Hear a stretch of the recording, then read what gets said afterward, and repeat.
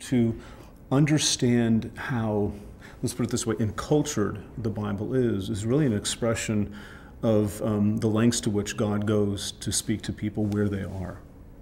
Um, it's, it's uh, some people refer to this as sort of an incarnational understanding of what the Bible is. The same way Jesus is completely a human being, but yet the Son of God.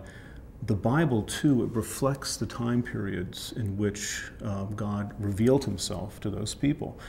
Um, that can get difficult um, because in, in the ancient world they thought about things differently than we do. Um, they thought of a flat earth.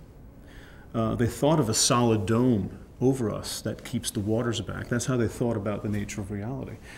And we sometimes make, I think, the mistake of assuming that God, who is a truth telling God, would never do that.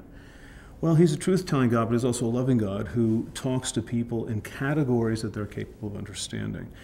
Um, you actually see um, not to overstate, but I think you actually see the glory of God through how much he's willing to, let's say, humiliate himself by speaking the language of the time and the language of the people, just like Jesus.